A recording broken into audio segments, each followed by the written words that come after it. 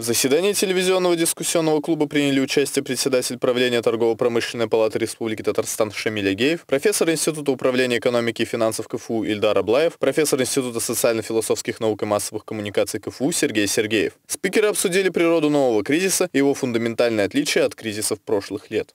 Ситуация неоднозначная и разные подходы к решению этого вопроса есть.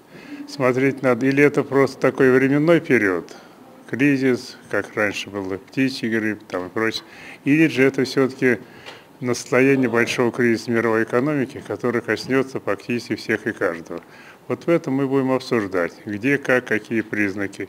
И в связи с этим, какие пути выхода. Или нужна новая экономическая политика, или совсем другой подход должен быть. Какие страны пока подходят к этому вопросу. Ведущим выступил советник ректора КФУ Юрий Алаев. Участники встречи попытались сделать выводы о том, насколько губительным станет новый кризис и как отличить зерна от плевел в нарастающем информационном шуме вокруг него. Весь мир начинает мозаично э, расползаться по своим квартирам, буквально в смысле слова. То есть мы переходим на самоизоляцию.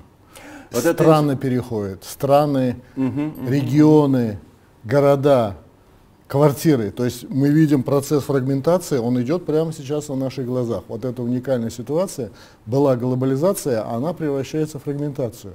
И мы к этому не готовы. Мы должны это понять, осознать, что бы дальше, как дальше и какие методы мы будем привлекать, использовать в экономике, в социальной политике. Запись программы будет транслироваться в сетке вещания телеканала Универ ТВ, а также размещена в свободном доступе на YouTube.